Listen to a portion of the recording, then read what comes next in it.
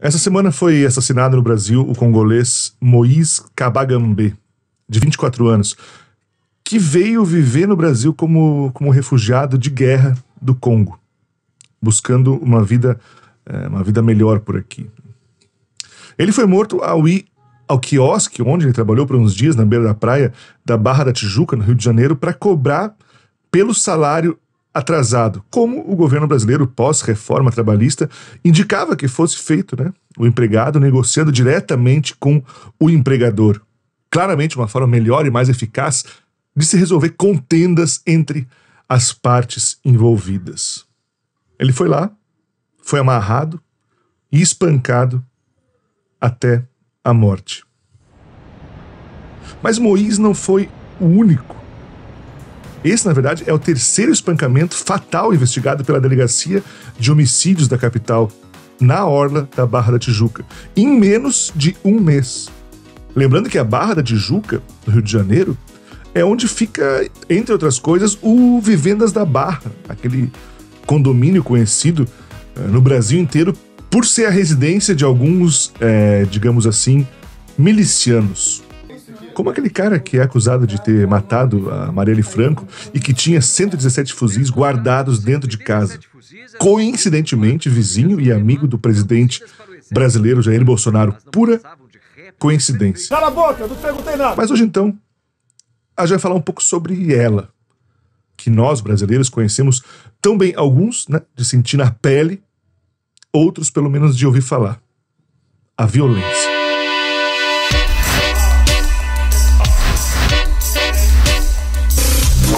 Добрый вечер. Здравствуйте, товарищ. Сегодня завершился официальный визит генерального секретаря. Как уже сообщалось, 4 октября Михаил Сергеевич Горбачев посетил музей-квартиру Владимира Ильича Ленина.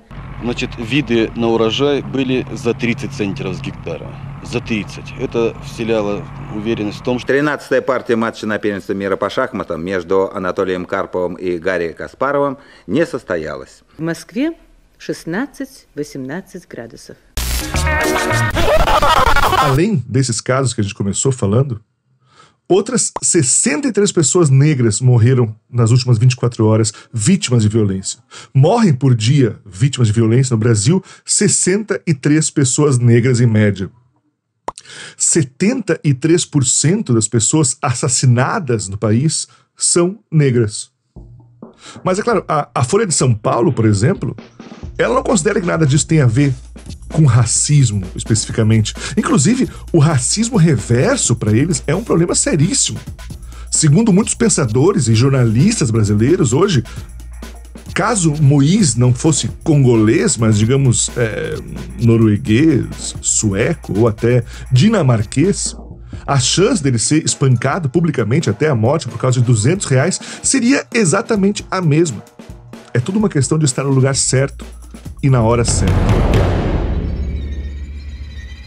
De qualquer modo, quando um caso terrível como esse acontece, é como se abrisse uma porta daquele quarto escuro que a sociedade costuma deixar fechada para ninguém lembrar do que tem lá dentro. O quarto escuro da violência.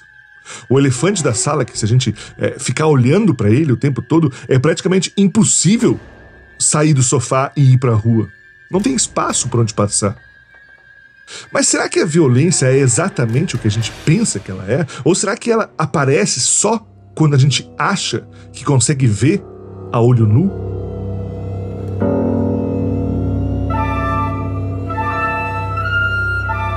A filosofia clássica costuma colocar a violência como que, como que em oposição à razão, como se fossem completamente exclusivos, antagônicos. De um lado tem a razão, a verdade, a linguagem, a fala, o logos. E do outro lado, a violência, o choque das vontades, é, a coação, a dominação. A ideia, de modo geral, é de que a razão, a razão nos livra é, das cadeias do erro e da ignorância. A verdade não depende da força. O acesso ao logos ao fundamento, à lógica, ao princípio das ideias, é uma libertação das garras da animalidade e da violência. É isso que nos faz gente e não bichos. a razão e não a violência. O Logos, como que confere justiça a todas as coisas, e a razão nos liberta do obscurantismo. O conhecimento evita a violência. A gente costuma entender que o conhecimento e a razão são essencialmente não violentos, enquanto que a violência é fundamentalmente extradiscursiva. Está para além da argumentação, para além da razão. Sai na porrada quem não se garante no diálogo. Só precisa apelar para o soco quem não se dá bem nos argumentos. Como deve fazer um, um cidadão de bem, né? um ser social, um ser político, como eu e como você. Só que essa ideia é, de razão, de conhecimento, de logos, já faz um bom tempo que a gente sabe que não é tão simples assim como parece. Primeiro, porque não existe uma, uma verdade universal e absoluta para se alcançar. Então, todo modelo racional que a gente conhece não é nada mais do que um modelo construído. Construído por alguém, com algum motivo, com algum interesse. O Logos, no fim das contas, é uma forma de dominação. Nietzsche é um dos primeiros a dizer que não existe isso de uma, uma pura vontade de verdade. Porque o conhecimento depende de, de uma luta entre instintos. E a afirmação de uma verdade nunca é outra coisa que não uma estratégia de uma luta de poder. A verdade é o troféu. A verdade é, é a legitimidade para quem quer poder mandar. Quem tem a verdade tem o poder. Adorno, no seu livro de 1947, A Dialética do Esclarecimento, ele diz que a razão se tornou totalitária. Nesse livro, ele chega a levantar uh, uma questão sobre até que ponto os campos de concentração nazistas não poderiam ser vistos como que filhos monstruosos do iluminismo. A gente costuma pensar que a violência é algo que deve ser evitado, que deve ser, inclusive, proibido, né? Uma sociedade democrática, liberal, é uma sociedade sem violência. Mas a violência, ela simplesmente existe. A questão é que ela tem uma uma exclusividade de uso. O único que tem autorização de usar a violência numa democracia liberal é o Estado. Afinal, como é que se mantém a sociedade se não através da violência? O que, que, impede de qualquer pessoa fazer qualquer coisa que seja proibida, senão a partir da imposição da violência como forma de retaliação? A polícia pode usar a violência, você não.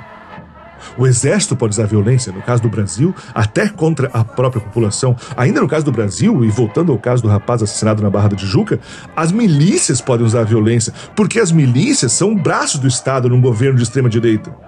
Por que você acha que ninguém foi lá tacar fogo no tal do quiosque onde o rapaz trabalhava no mesmo dia do assassinato? Você não teve vontade de fazer isso? As pessoas não foram por medo. Medo da milícia, que comanda aquela área, medo da polícia, medo da violência autorizada pelo Estado nas mãos da polícia. A polícia de Nova York, por exemplo, a famosa New York PD, emprega ao total 51 mil pessoas, o que faz dela o quinto maior exército do mundo, com um orçamento anual de 5 bilhões de dólares.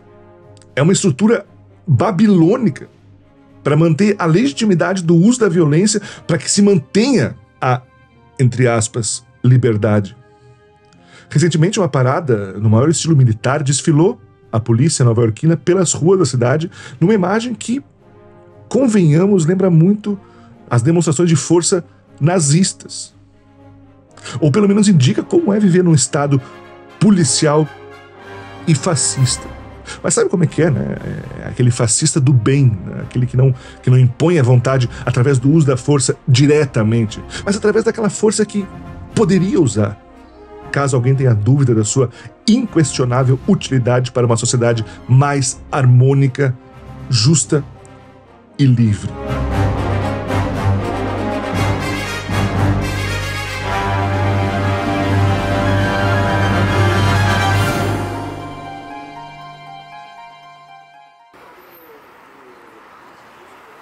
A violência existe, a violência é, é o óleo que mantém as engrenagens das sociedades capitalistas funcionando. A pergunta que fica é: quanta violência é necessária para se manter um mínimo estado de normalidade? Quanta violência é necessária para que você viva numa cidade onde tenha a impressão de que ela não é violenta? Muita gente vem morar aqui na cidade onde eu moro porque diz que aqui você não tem, não tem medo de andar na rua, aqui não, aqui não se tem a impressão de que você pode ser assaltado a qualquer momento. Mas quanta violência custa isso?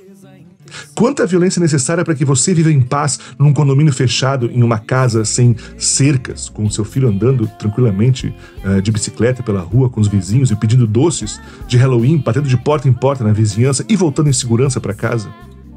Ou ainda, não seria a demanda econômica de um condomínio fechado justamente uma oportunidade gerada por um determinado grau de violência que te faz ter medo de morar em uma rua aberta? Quanta violência é necessária para que a economia cresça? E muita gente ganha dinheiro com a ideia de que, de que é melhor você ir a um shopping center fechado, com segurança na porta, do que andar pelo centro da cidade que é melhor seu filho estudar numa escola com, com câmeras de segurança em todos os cantos, é, que seu carro devia ter vidros blindados, que o esquema de segurança para entrar no seu prédio seja mais eficaz do que a polícia da sua cidade. A violência é uma constante em nossas vidas. E quanto mais você não a vê, provavelmente mais brutal ela seja. Mais seja preciso calar e desumanizar determinadas classes para que elas não deem trabalho, para que elas não façam barulho. Afinal, ninguém gosta de gente fazendo escândalo no restaurante quando eu estou de boa, com a minha família comendo uma pizza, né? depois de um dia de trabalho duro. E aqui, nesse país em que a gente vive, essa classe, essa gente que é merecedora de receber a violência do Estado em troca de uma certa tranquilidade dos demais, tem cor, tem endereço. E o Moisés ele entra na estatística não só dos mortos do dia, mas como da brutalidade que a gente é exposto para parar de sentir. Porque quanto mais porrada a gente leva, mais vai criando casca, né, para não se deixar abalar. Ou pior, para reforçar a ideia de que ver um pobre preso ou morto já é cultural. E vamos nós às atividades do dia. Lavar os copos, contar os corpos e sorrir.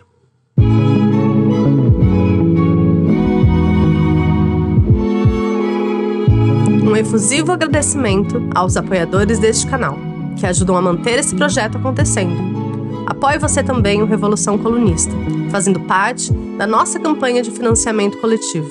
O link para o nosso Apoia-se está na descrição desse vídeo. Não esqueça também de deixar o seu like, inscrever-se no canal, ativar as notificações, deixar seu comentário e, é claro, compartilhar esse vídeo com seus amigos para que mais pessoas possam assistir. Muito obrigado pela sua audiência e nos vemos no próximo vídeo.